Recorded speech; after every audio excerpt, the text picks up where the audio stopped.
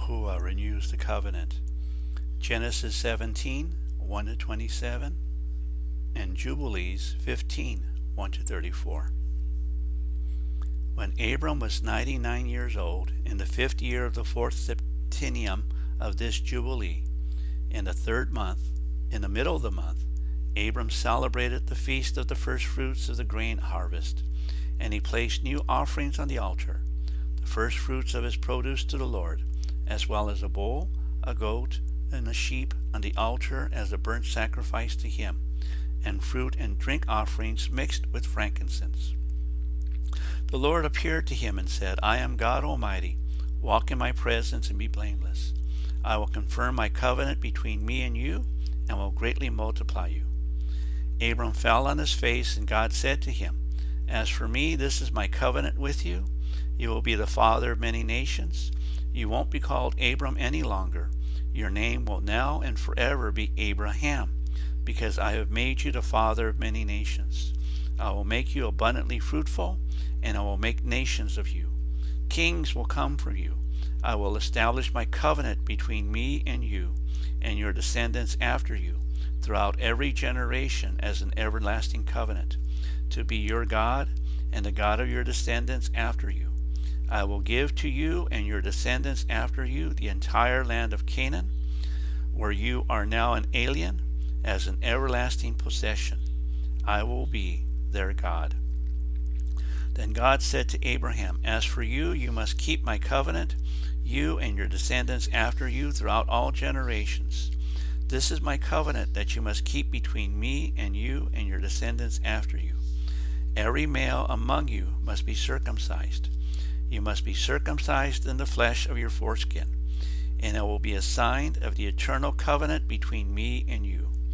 Throughout every generation, every male among you who is eight days old must be circumcised, no matter whether they are born in your household or bought with money from a foreigner anyone belonging to you, even those who are not your offspring, whether born in your household or purchase, they must be circumcised. My covenant in your body will be an everlasting covenant. Any uncircumcised male who has not been circumcised in the flesh on the eighth day will be cut off from his people because he has broken my covenant.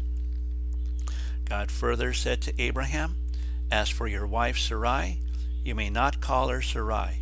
Instead, her name will be Sarah. I will bless her, and beyond that I will give you a son by her.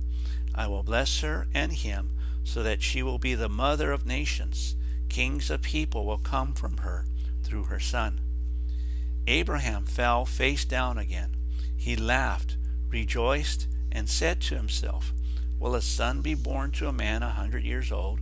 Will Sarah give birth at the age of ninety? Then Abraham said to God, to God, Oh, if only Ishmael might live in your presence. But God replied, It's true.